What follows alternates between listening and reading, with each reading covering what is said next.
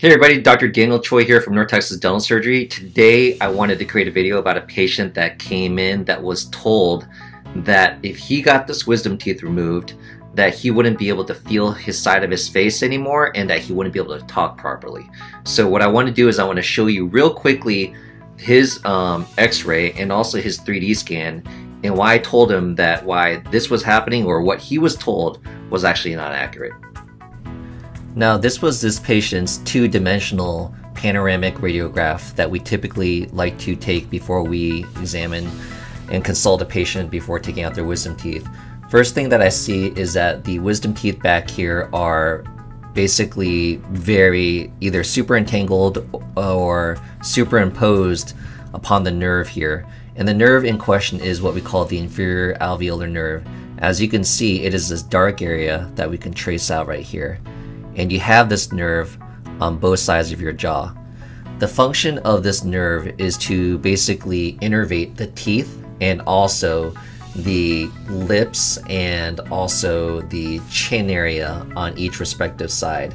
So that's what the main um, function is of this nerve. Again, it is a sensory nerve, it is not a motor nerve, meaning that it does not move anything. It is literally just a sensory nerve that helps us to know what's going on with our teeth, to feel any changes in our teeth, to also be able to feel um, anything on our lips and our chin.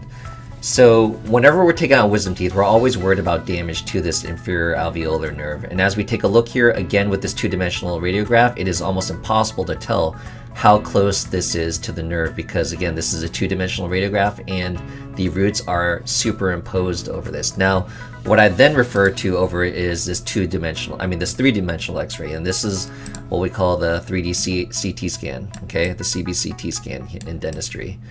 So what I do is I have to evaluate and I take a look and I can now see in that third dimension of where the nerve is and it is this area of dark. And as I'm looking right here, I can see that this nerve is pretty close to the roots, um, but it is not like weaving through or anything like that. So um, although it is very close and, you know, I like to always um, un, um, over, um, under promise and over deliver.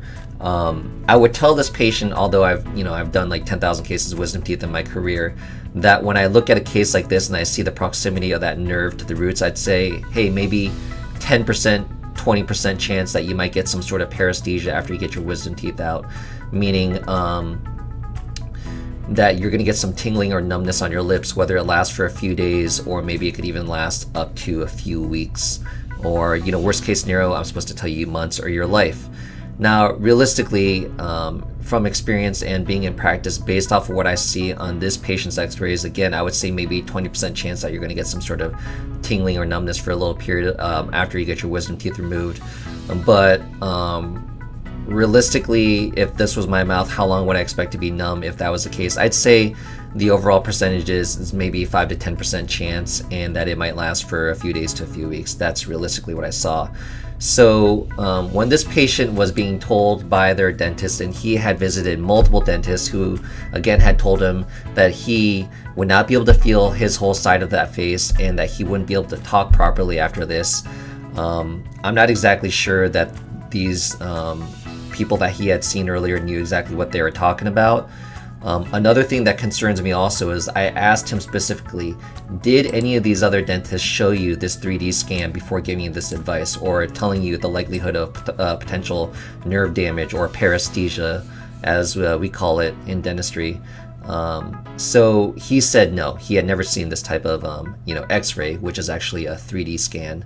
Um, he'd never seen this before. So you know, my advice is if you're getting your wisdom teeth removed, and you know, unless these wisdom teeth are very clear from the nerve, but even with you know my extensive experience, I would not remove any sets of wisdom teeth anymore without um, a patient having a 3D scan. Had I removed wisdom teeth in the past before um, getting a hold of a 3D scan? Absolutely.